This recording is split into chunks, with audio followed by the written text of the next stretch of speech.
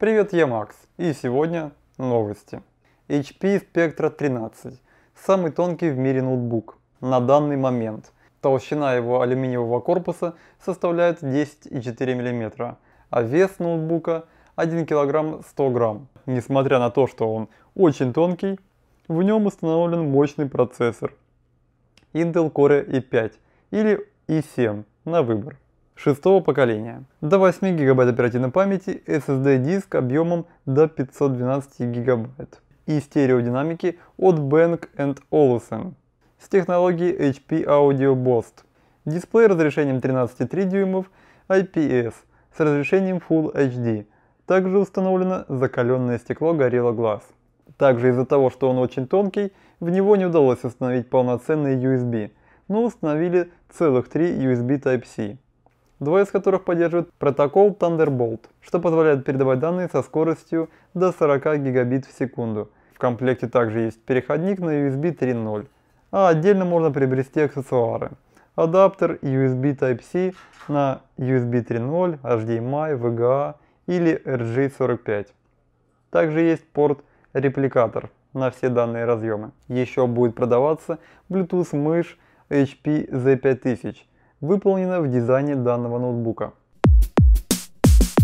Wacom показали новые смарт-блокноты Bambo. Работают блокноты таким образом.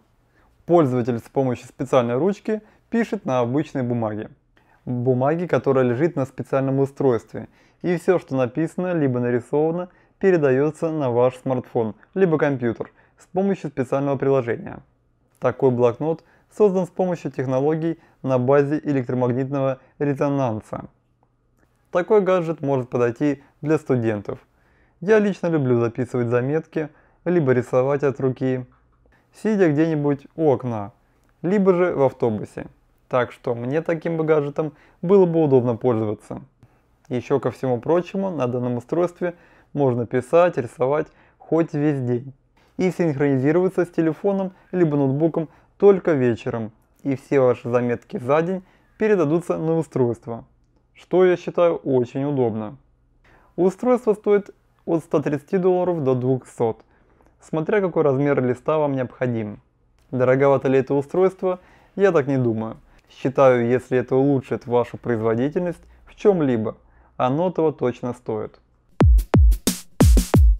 Alibaba официально запускает в России альтернативный магазин Android приложений. Nain Store, который уже сейчас насчитывает более 3 миллионов активных пользователей из России. Данное приложение стало очень популярным в таких странах, как Индия, Индонезия, Китай. И на данный момент ежемесячное количество пользователей данного магазина составило 250 миллионов. Особенностью данного альтернативного магазина заключается в новых средствах привлечения пользователя путем интерактивности и вознаграждений. Также немаловажная особенность – это все приложения являются бесплатными. А также присутствуют честные топы, без каких-либо первых мест от известных компаний, которые раскручиваются за деньги. В общем, попробовать данное приложение стоит.